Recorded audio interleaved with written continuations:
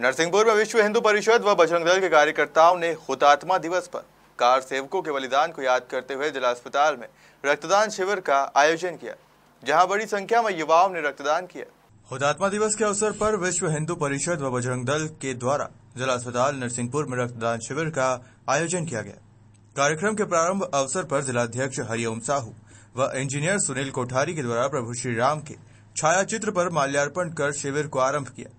इस अवसर पर संगठन के पदाधिकारियों और कार्यकर्ताओं के द्वारा भारी संख्या में रक्तदान करते हुए श्री राम की जन्मस्थली को मुक्त कराने में अपनी जान गंवाने वाले कार सेवकों को याद किया गया।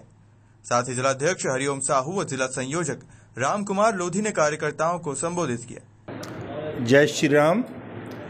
30 अक्टूबर 1990 को जो कार सेवकों के ऊपर गोलीबारी की थी और जिसमें हमारे हिंदुत्ववादी दो शहीद कोठारी बंधु का जिनका शहीद हुआ था, उनकी याद में हुतात्मा दिवस का कार्यक्रम विश्व हिंदू परिषद बजरंग दल के द्वारा पूरे देश में मनाया जा रहा है।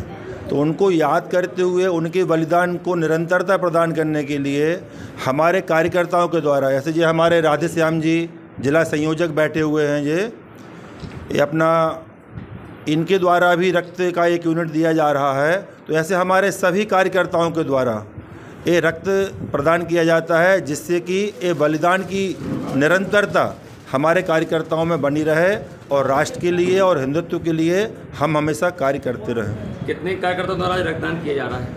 आज करीब पाँच कार्यकर्ताओं का हम रक्त डोनेट करेंगे लेकिन लिस्ट हमारे पास सौ से अधिक कार्यकर्ताओं की रहेगी जो कि फ़ौरन आवश्यकता पड़ने पर अपना रक्त डोनेट करेंगे क्योंकि यहाँ कार्यालय से जो पता चला है ब्लड बैंक से यहाँ रक्त पर्याप्त मात्रा में है, इसलिए ज़्यादा अभी स्टॉक में नहीं दिया जा रहा। सन 1990 पे जो विश्व हिंदू परिषद के नेतृत्व में कार सेवा की गई थी, उसमें वहाँ की तत्कालिक सरकार, जो मुलायम सरकार थी, वहाँ पर जो कार सेवक थे, वो गोलीबारी की गई थी, जिसमें हमारे कई कार सेवक शहीद हुए थे।